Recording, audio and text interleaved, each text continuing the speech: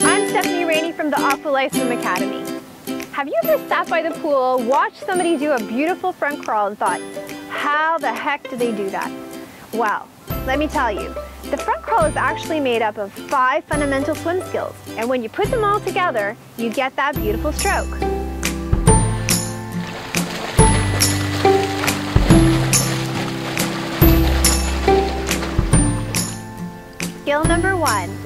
Keeping horizontal in the water. So this means that your head is in the water and your feet are up near the surface of the water.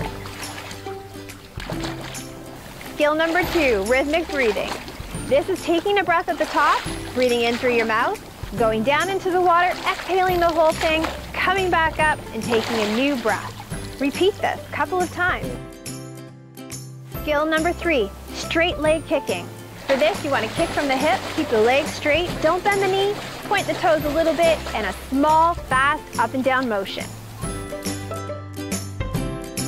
Skill number four, rotating to take a breath. So as before, hold on to the wall, kick your feet. As you kick, turn your shoulder up and open to the ceiling. Take a breath, and then bring your face back in the water and exhale completely. Once you have the rotation, try adding side breathing.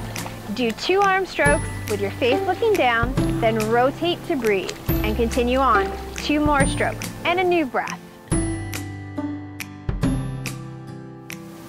Don't be discouraged if this takes a while to master. Five swim skills can take a while.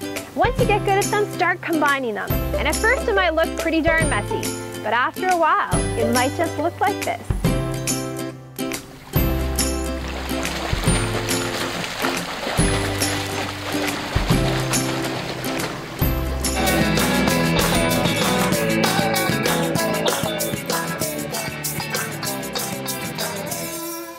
Thank